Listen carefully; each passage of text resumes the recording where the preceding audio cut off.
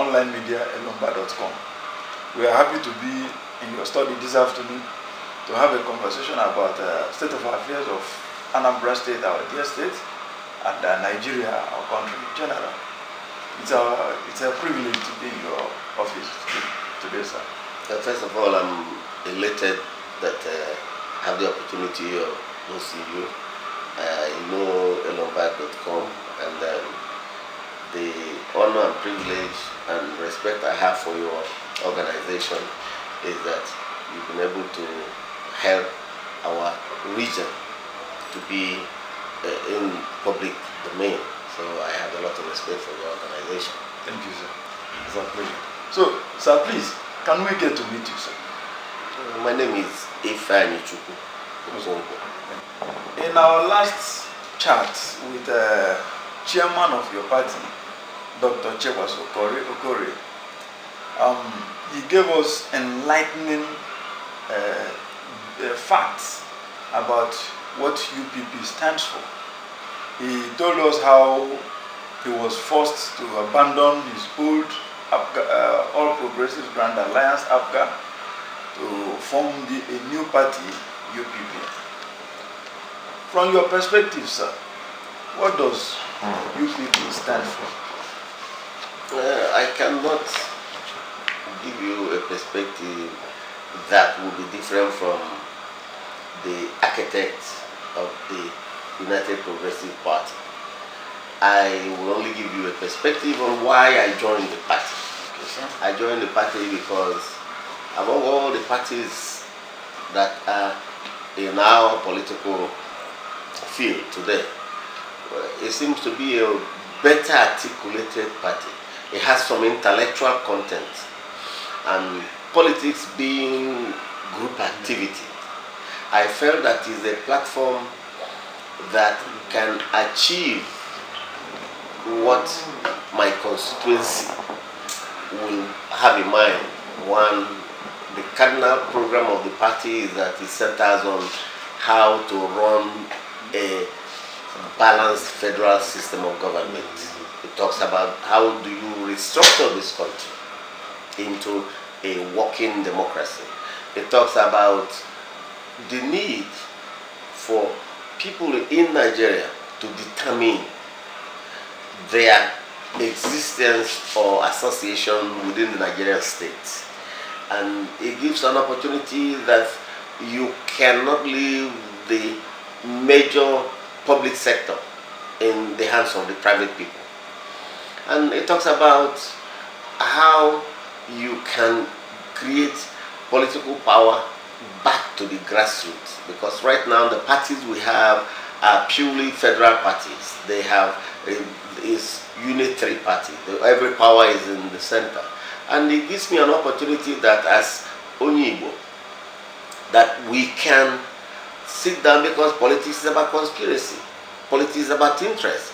That we can formulate a platform that can give Igbo opportunity to dominate their environment and start, assert ourselves, not to dominate others, but to dominate our environment.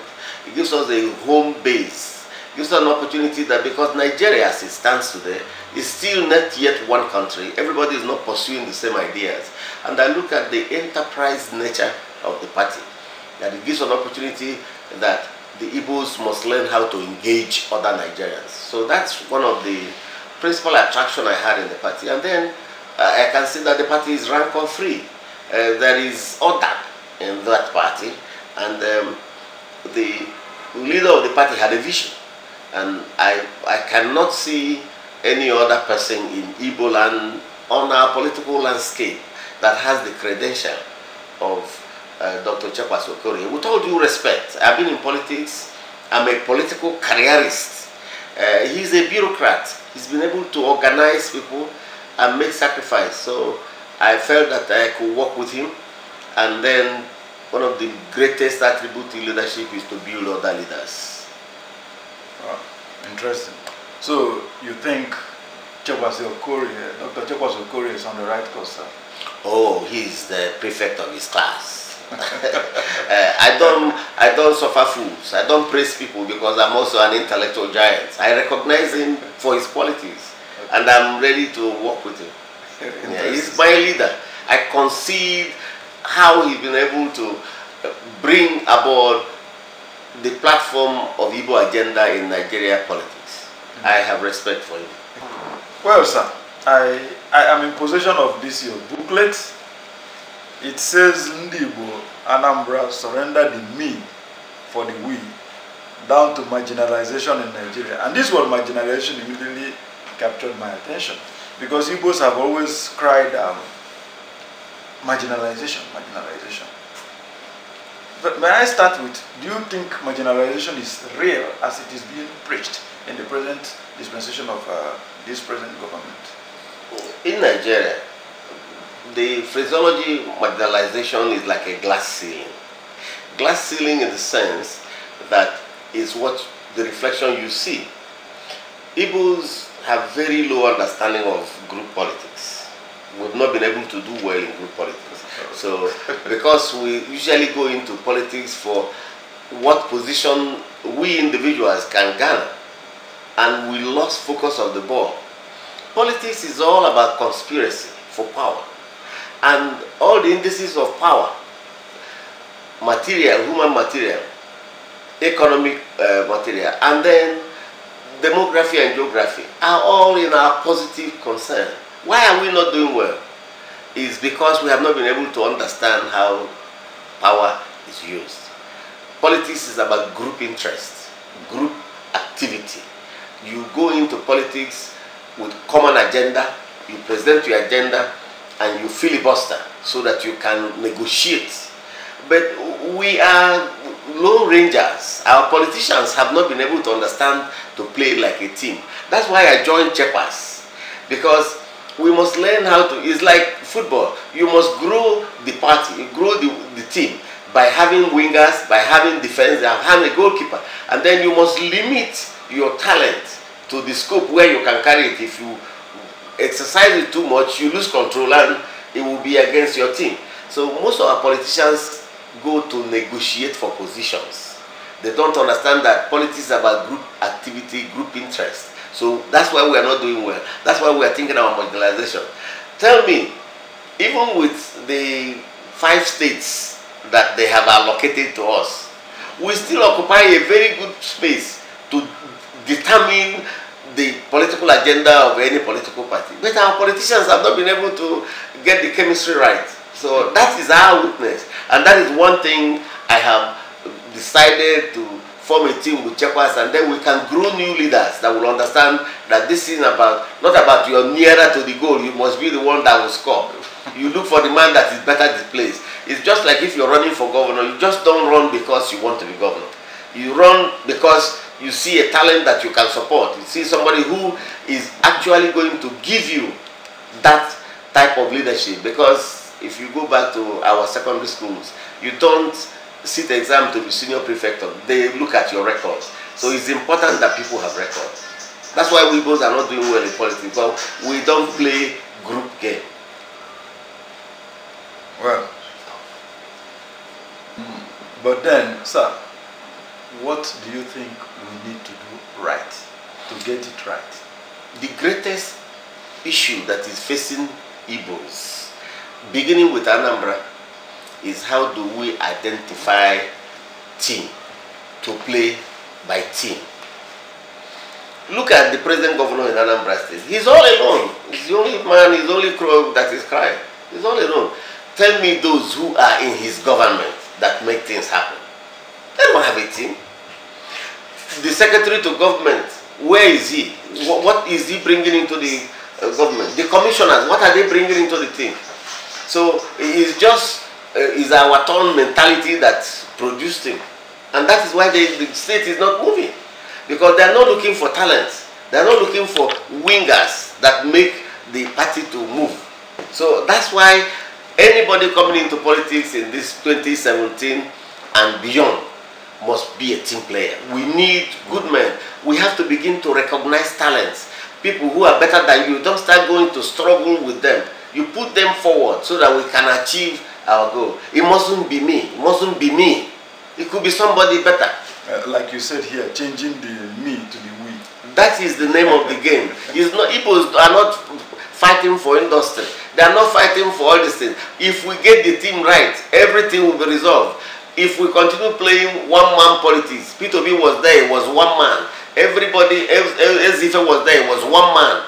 Who did they build? They have not built other leaders. In Anambra State, they have not been able to hold local government election, so-called, for the last 11 years. And there's no new leaders. It's all recycling all these people who are looking for money to pay school fees. That's not politics.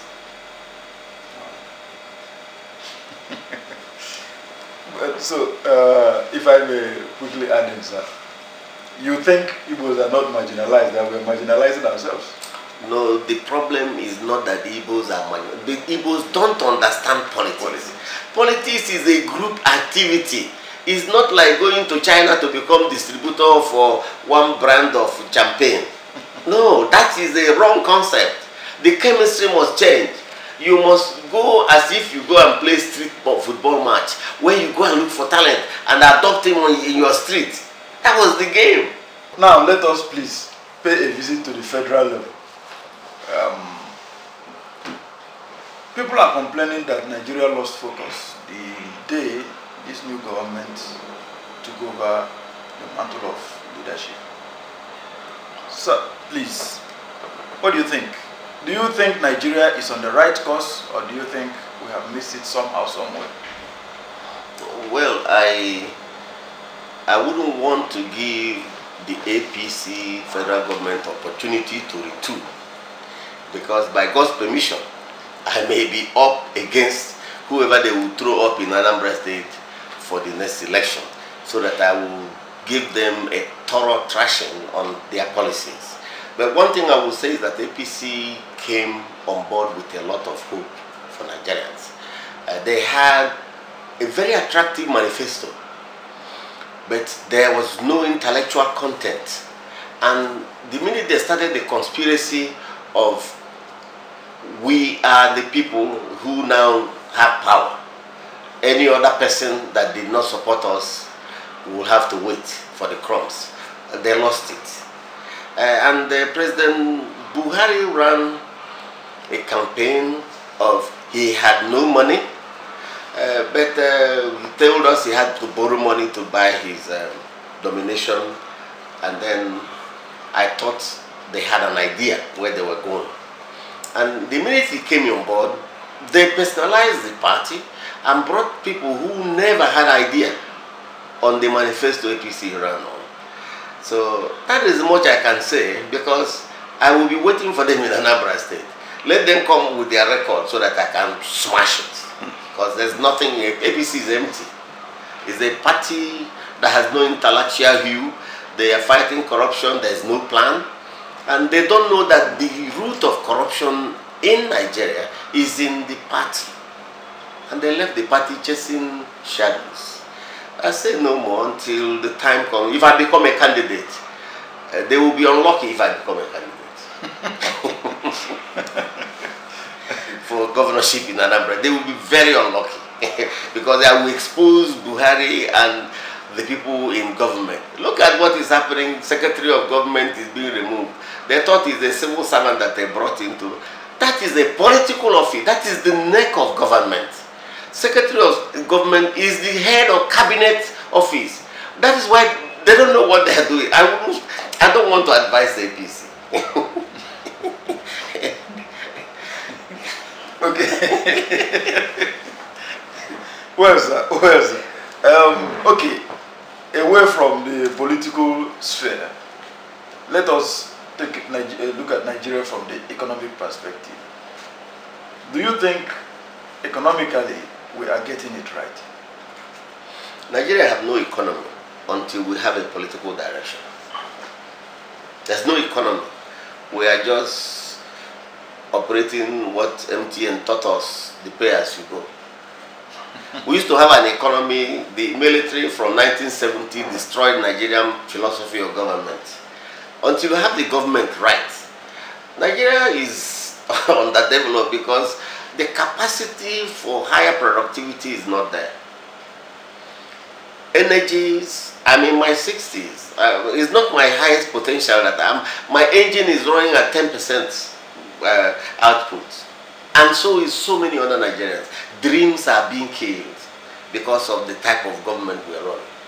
Until we go back to restructure this country so that those who have excellent potentials can create surplus uh, production so that others can benefit. And that's why the whole country is on a standstill. We are not moving. Interestingly, you said, you mentioned restructuring. And uh, when we were at the home of uh, UPP chairman, Dr. Chekwas Okorie, he was also hammering on the same restructuring. What is your, what is your, uh, how do you think the restructuring could be well orchestrated and achieved? APC did the 419 in Nigeria Balance with Nigerians. That, that was what their cardinal program. Indeed, I supported the party on that platform. And all of a sudden, they lost it. It was a shadow of itself. And you started seeing, bringing people from, people who had no idea what they went to the market with. And then the, the, the tragedy was the president has, has very short memory about where, where Nigeria or why Nigeria voted. And you turn around to punish those who did not support you. And then uh, it doesn't have the intellectual capacity to move the engine. That's the problem.